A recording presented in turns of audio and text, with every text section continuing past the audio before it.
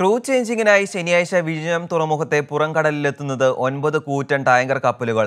വിവിധ രാജ്യങ്ങളിൽ നിന്നെത്തുന്ന ഈ കപ്പലുകളിൽ നിന്നും എഴുപത്തിയാറ് പേരാണ് കരയിലേക്ക് ഇറങ്ങുക. എൺപത്തിയേഴ് പേർ ഇവർക്ക് പകരമായി തിരികെ കയറും. ക്രൂ ചേഞ്ചിങ്ങിന്റെ ഭാഗമായി ഇക്കൊല്ലം ആദ്യമായാണ് ഒൻപത് കപ്പലുകൾ ഒരുമിച്ച് വിഴിഞ്ഞത്തെത്തുന്നത്.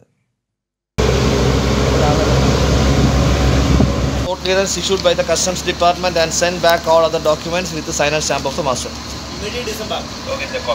Covid കാലത്ത് ഇതര തുറമുഖങ്ങൾ ക്രൂ ചേഞ്ചിന് അനുമതി നൽകാതെ വന്നതോടെയാണ് വിഴിഞ്ഞത്ത് സാധ്യതയേറിയത്. വിഴിഞ്ഞം തുറമുഖത്തെ പുറംകടലിൽ ഇന്നലെ എത്തിയത് ഒൻപത് കൂറ്റൻ ടാങ്കർ കപ്പലുകളാണ്. കപ്പലുകളിൽ നിന്ന് എഴുപത്തിയാറ് തൊഴിലാളികൾ കരയിലേക്കിറങ്ങുകയും എൺപത്തിയേഴ് പേർ പകരമായി തിരികെ കയറുകയും ചെയ്തു. ഇതുവരെ വിഴിഞ്ഞം പുറംകടലിൽ ക്രൂ ചേഞ്ചിനായി മുന്നൂറ്റി എഴുപത്തിനാല് കപ്പലുകളാണ് എത്തിയത്. ഇപ്പോൾ നമ്മൾ ഏകദേശം ഒരു മുന്നൂറ്റി എഴുപതോളം ഷിപ്പ് നമ്മളിപ്പോൾ കൈവരിച്ചു.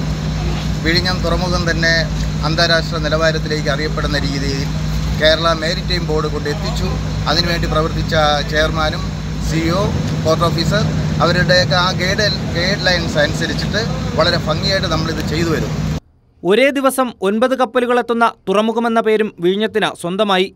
ശനിയാഴ്ച എത്തിയ കപ്പലുകളിൽ നിന്ന് മാത്രം ആങ്കറിംഗ് ഫീസിനത്തിലായി പത്ത് ലക്ഷം രൂപ വരുമാനമായി ലഭിച്ചു. മാരിടൈം ബോർഡിന്റെ നേതൃത്വത്തിൽ കസ്റ്റംസ് എമിഗ്രേഷൻ പോർട്ട് ഹെൽത്ത് അടക്കമുള്ളവരുടെ നേതൃത്വത്തിൽ കോവിഡ് മാനദണ്ഡങ്ങൾ പാലിച്ചാണ് തുറമുഖത്ത് ക്രൂ ചേഞ്ചിങ് നടത്തുക. കൈരളി ന്യൂസ് തിരുവനന്തപുരം.